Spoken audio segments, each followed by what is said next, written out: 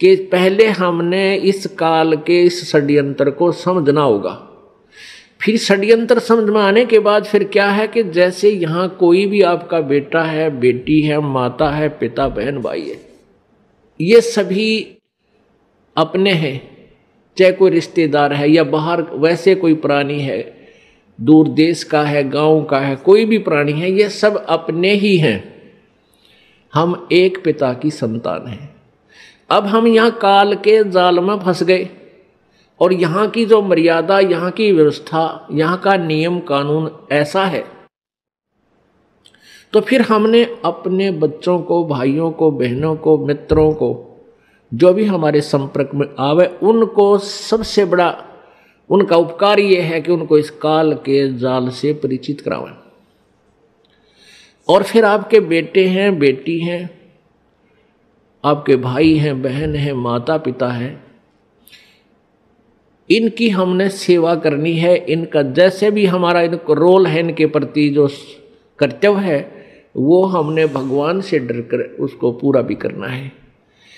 क्योंकि ये सभी परमात्मा के बच्चे हैं और यहाँ सभी दुखी हैं। अब जैसे माता पिता जो, बूढ़े हो जाते हैं, ऐसा है, हो जाते हैं।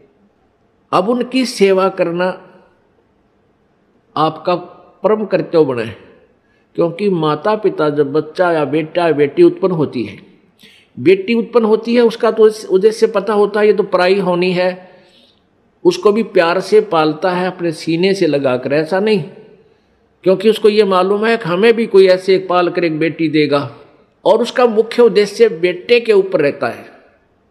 कि बेटा बड़ा होगा, पुत्रवधु आवेगी और हम बूढ़े हो जाएँगे, हमें, हमारी सेवा करेंगे, हैं, हमें बैठों को खाना देंगे, उंगली पकड़ कर इधर उधर हमें ले जाया करेंगे। तो इस उद्देश्य से वो बच्चों की परवरिश करता है, इस उमंग से रात देखता ना दिन देखता। तो जब वो बूढ़े हो जाते हैं तो वो डिजर्व करते हैं आपसे वो सेवा। और आप वो कर नहीं पाते। क्यों नहीं कर पाते? क्योंकि आपको ये नहीं मालूम कि हम यहाँ भयंकर जाल में फंसे हुए हैं। और परमात्मा ने जो हमें यहाँ कर्तव्य दिया है, उसको ना निभाकर भी हम दोषी बन रहे हैं, पाप के भागी बन रहे हैं, और काल तो हमसे पाप करवाता रहता है ताकि ये मेरे जाल में फंसे रहें। तो हमने परमात्मा के विधान से परिचित होकर इन सब नातों का जो भी आपकी भूमिका है, जो भी आपका रोल दिया है, उसको निभाना है। बच्चों का पालन पोषण भी आपने बड़ी प्यार से करना है। ऐसे ढंग से करना है कि मालिक मालिक के बच्चे हैं और माता पिता भी मालिक के बच्चे हैं। आपकी ड्यूटी है बर बुढ़ापे में इनकी सेवा करना, इनको प्यार दे। बुढ़ा आदमी, प्यार का भूखा होता है।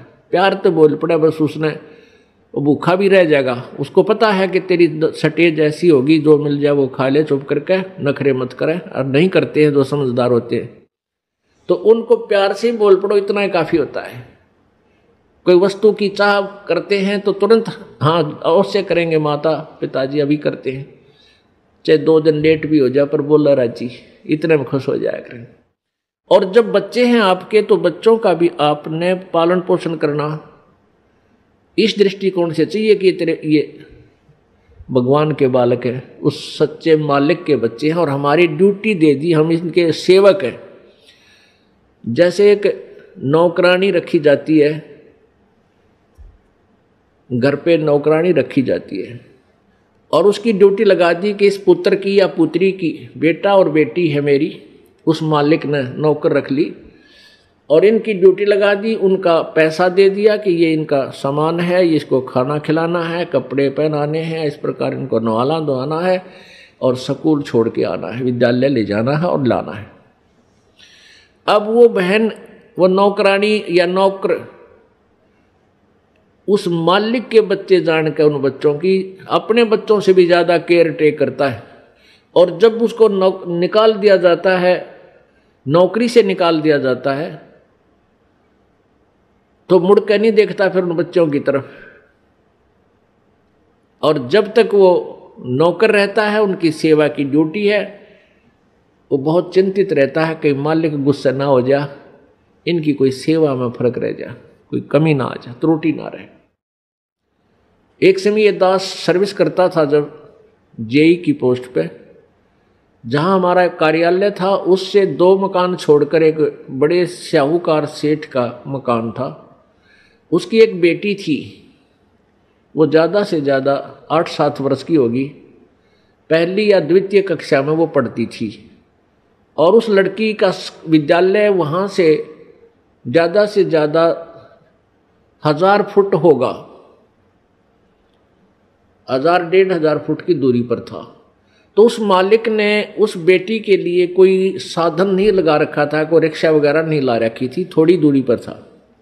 उस नौकरानी से कह रखा था कि आप इसको सुबह छोड़ आना, नवा दवा के कपड़े, ड्रेस बना के और जब इसकी छुट्टी हो ले आना।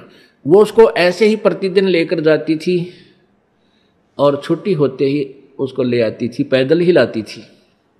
गर्मियों के दिन ये मई का महीना, उसने एक छोटी सी छतरी, छाता ले रखा उस नौकरानी ने, स्वयं तो धूप में और उस छोटी सी बच्ची के ऊपर छाता लिए हुए। और वो धूप में आ रही है उस बच्ची पर, मालिक की बेटी पर छाता किए हुए है और लेकर आ रही है। यानी इतनी सेवा, इतनी अपने पंचुअल थी अपनी सेवा में। और जब उसको नौकरी से निकाल दिया, फिर उसने उधर झाँक कर भी नहीं देखा कि मेरी ड्यूटी अभी तक थी और इतना कर्तव्य था, ये मैंने ठीक निभाया तो पुण्यात्माओं, इसी प्रकार आपके बच्चे हैं, बेटा बेटी हैं, ये प्रभु के बच्चे हैं। आपको इनका सेवक लगा रखा है। इस दृष्टिकोण से इनका पूरा कर्तव्य करो। अपने कर्तव्य कर्म को करते हुए प्रभु की याद भूल नहीं पड़नी चाहिए। और जब यहाँ से जाने का समय आएगा, नौकरी से आपको निकालेंगे, आपके मन में अगर हृदय से यह बात होगी कि मेरा बेटा नहीं है, मेरी बेटी नहीं है ये मालिक के बच्चे हैं। ठीक है, नाता कुछ भी जोड़ दिया। अब हमारा है सामाजिक नाता भी बेटा बेटी का है, लेकिन ये मालिक के वास्तव में परमात्मा के बच्चे हैं। और जब हम चलेंगे यहाँ से छोड़कर तो हमारी ममता इनमें नहीं हो सकती। यदि हम इस ज्ञान आधार से सोचेंगे, और यदि हम उस पशु की तरह उस पुतले को अपना माने बैठे रहेंगे तो धक्के उसके पीछे पीछे धक्के खाते ही रहेंगे। मान ले आपकी मृत्यु होने लगी। ये ये आध्यात्मिक तत्व ज्ञान है, पुण्यात्मा जो तुमने यहाँ से पीछा छुटवाना है। यदि आपको ये ज्ञान हुआ नहीं, भक्ति कर रहे हो, सुख भी देगा भगवान आपके, दुख भी दूर करेगा, आपको धन भी देगा, बहुत सुख कर देगा। और इस ज्ञान की भूल पड़ते ही आपको यहीं फंसा लेगा। आपकी मृत्यु होने लगी, आपके पास कोई बेटा या बेटी आकर रोने लग जाएगा। आपकी ममता उसके उधर फंस जाएगी। क्या होगा मेरे बच्चे का? कौन संभालेगा इसको? और फिर मृत्यु होगी मृत्यु होगी तो आपकी आस्था उस बेटा या बेटी में रह गई। मृत्यु होकर के फिर वहीं कुतिया आकर बन जा माने उसी गली में। या कुत्ता बन गया। उड़े सैर सपट्टे करता रहेगा। फिर बेटे भी ना मिलने, ना बेटियाँ दौरा बैठ सकता। एक परिवार ने खीर बनाई थी, खीर का पात्र था, उसमें सर्फ पड़ गया, पड़ते ही वो मर गया अंदर, बैठ गया नीचे। वहाँ उनकी एक पालतू कुत्ती थी मतलब जैसे वह वैसे पाली हुई नहीं थी, गली में घूमती फिरती, आ जाती, बैठ जाती, उसको रोटी राटी डाल देती, वो वहाँ बैठ जाती थी। तो उसने क्या किया, वो सारी खीर पंजे के के साथ खंडा दी, वह डाल दी, नीचे डाल दी। उधर से घरवाला ने देखा कि इसने तो भाई कमाल कर दिया।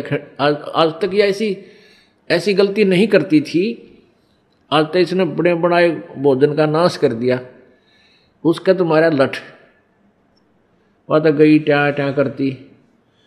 फिर वो खीर को संभालने लगे बाहर नीचे पड़ी थी वो तो पड़ी थी अंदर झाँक कर देखा उसमें कितनी बच रही है उसमें काला सांप सर्प अंदर पड़ा। और फिर उस पूरे परिवार ने खुशी मनाई को हो इस कुतिया ने तो हमारा परिवार बचा दिया। फिर उसने लिया पकड़ कर वो अगन बाजा के उधर लठला गया फिर किसी से पूछा, भाई, ये कोई, वैसे ही कोई मौत होती है? एक व्यक्ति आ गया जो थोड़ी बहुत भविष्य की या बैक की जाने था।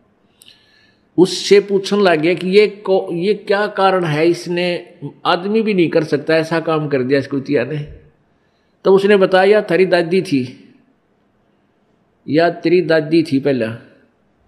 हैं, और इसकी आस्था भैया मरन लगे जब थारे में रहेगी या कुतिया बन गई और अच्छी पुण्यात्मा थी, पहले भी दयालु थी। और जो तुरंत मनुष्य जोनी से पशु जोनी माता है, उसमें थोड़ी बहुत लक्षण अच्छे होते हैं। जैसे कई कुत्ते हैं, बड़े समझदार मनुष्यों की तरह ही सारे काम कर देते हैं। वो तुरंत मनुष्य जो निशाए हुए होते हैं। तो पुण्यात्मा, फिर आप वहाँ कुत्ते बन कहा बैठोगे? तो अध्यात्म यदि आपने इस विद्यालय में प्रवेश पाया है, पहले इसका उद्देश्य समझ लेना। इस विद्यालय का उद्देश्य है आपका यहाँ जन्म, मृत्यु से सदा के लिए झंझट छुटवा देना। और सतलोक में वहाँ भेज देना जहाँ कभी दुख नहीं, कभी मृत्यु नहीं, कहीं रोग नहीं, कोई कोड नहीं। कोई आपदा नहीं आती, किसी चीज़ का अभाव नहीं, जहाँ हम पहले रहते थे। अब जब तक आप मालिक के चरणों में रहोगे तो यहाँ का सुख तो आपको मिलेगा मिलेगा। आपके भाग्य में ना होगा तो भी दाता आपको देगा। ये दयालु है, ये समर्थ है, इसके पास फुल पावर है। और फिर आपकी मृत्यु तो होगी, क्योंकि यहाँ तो कोई रह ही नहीं सकता, इस मिट्टी के खिलौनों में कितने दिन रह सकता है? हज़ार हज़ार वर्ष तक भी रह, जीवित रह कर देख लिया, ऋषियों ने अपनी अटकलों से। आखिर में फिर मृत्यु हुई। यहाँ तो मृत्यु होगी। वो दिन तो डेफिनेटली आओगा, जिस दिन आपने यहाँ छोड़ना ही पड़ेगा। चाहे कितना काम रह रहे हो। आज जो स्थिति आपकी है, यदि आप इसको अभी से सेट करके चालोगे कि परमात्मा आपकी इच्छा कभी ले चलियो। यदि आपने मोक्ष उद्देश्य रखना है उसमें फिर अग्रम अग्रम नहीं रखनी कि यो काम रह गया, ऐसा नहीं हुआ, भगवान इतना और हो जाता फिर काम बड़े नहीं। चाहे कभी कहे परमात्मा, चालन की तैयारी करनी पड़ेगी आपने। तो आपने यहाँ से तो जाना ही पड़ेगा। यदि आप श्रद्धा नहीं हटाओगे, यहाँ से आस्था नहीं हटाओगे तो भी मृत्यु होगी तो यहीं आ जाओगे। इस ज्ञान को आधार बना के और परमात्मा को साक्षी रख के जब भी चालन की तैयारी आवे टमेट किसी समय आ जा। सहर्ष चल पड़े।